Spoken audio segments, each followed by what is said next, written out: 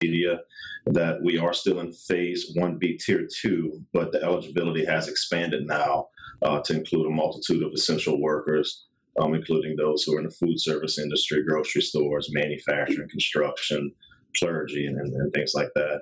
Um, if you look on either our website, our Facebook page, or of course the, the governor's website or the, the, state page, there is more detailed information about that. Here at Opelousas General, we are given predominantly the Pfizer vaccine. Um, we've given close to 5,000 first doses and close to 3,000 second doses at this point. Uh, we did receive a limited amount of Johnson & Johnson, which is the single dose vaccine, um, and we held that clinic uh, last week and gave about 500 of those out so far. Um, we are continuing our vaccine clinic in partnership with the city of Opelousas here in Opelousas at the Opelousas Civic Center um, that is open to the community. Uh, and that's in collaboration, of course, with the city, with local law enforcement, local EMS companies.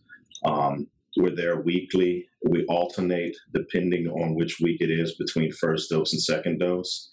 Um, this week, we're actually administering the second doses uh, today, Friday, and Saturday. Next week, Monday, Tuesday, Wednesday, we'll be given first doses.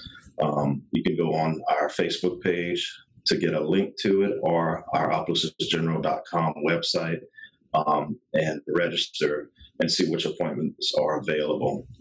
We do have a call line set up now uh, for those who need further assistance with vaccine information or with registering. And that number is 337 447 2262.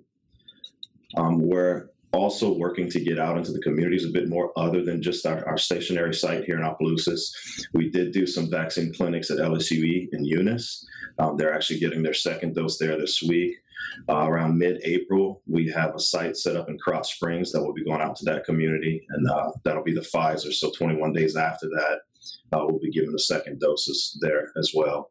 Um, it's important to note that when you come and get your first dose, and, and of course everyone does have to be scheduled, um, but when you come and get your first dose, you'll be provided your scheduled second dose date at that same time too.